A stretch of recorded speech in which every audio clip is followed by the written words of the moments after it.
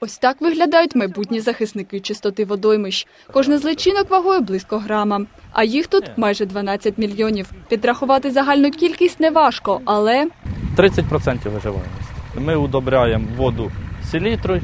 Головне, треба провіряти кислород, щоб був у нормі. Два рази на день. очищення водоймищ шляхом розмноження риб меліорантів неприбуткове. Але й для такої справи знайшли спонсори. Майже 7 мільйонів гривень витратять на капітальний ремонт рибгоспу, що у Царичанському районі. Перші роботи вже зроблено. Станьте на место этой компании. Если вы рискнете вкладывать деньги в такие проекты и будете рассчитывать на коммерческую прибыль, я очень сомневаюсь, что кто-то в вас проинвестирует из западных банков.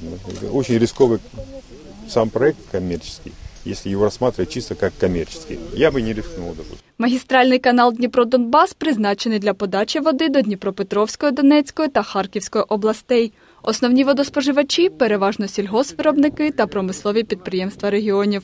Тож якісна та своєчасна подача прозорого золота для них надважлива. Робота надзвичайно ефективна. На головному Каховському каналі в минулому році, два роки тому, запустили мальок.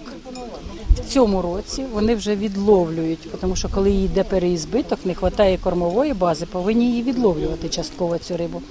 Так вони досягли того, що за два роки очистився канал на 30%. Це надзвичайно ефективно. Механічним способом очистити отаку велику рукотворну річку це мільярди треба, це нереально. За декілька місяців личинки перетворяться на дорослих риб, від яких залежатиме доля одних з найрозвиненіших промислових регіонів України.